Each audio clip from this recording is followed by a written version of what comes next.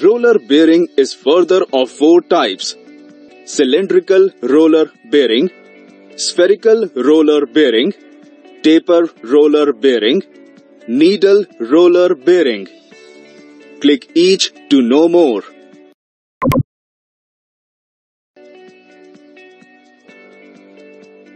Click each to know more about cylindrical roller bearings. A cylindrical roller bearing has inner race, outer race and rollers with or without cage. Its rollers are not true cylinders but are of logarithmic profile and ground. There are two or four rows of rollers that are used for larger loads. Either inner, that is, in design NU, or outer race, that is, in design N, can move freely in axial direction.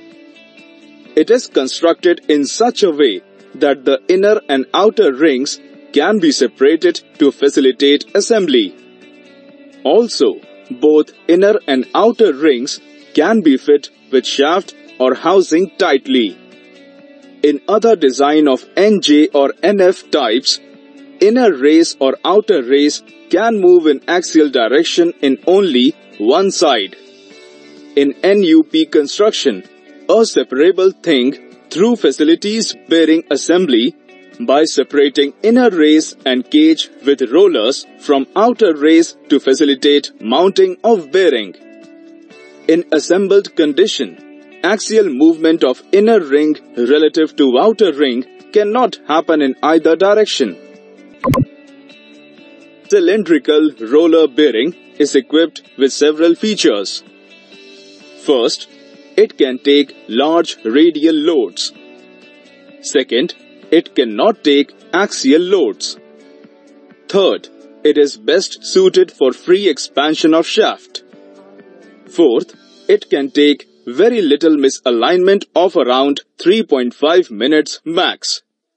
Fifth, it is suitable for high-speed applications. Sixth, it has high running accuracy and high stiffness for double row design. And seventh, it cannot take moment load.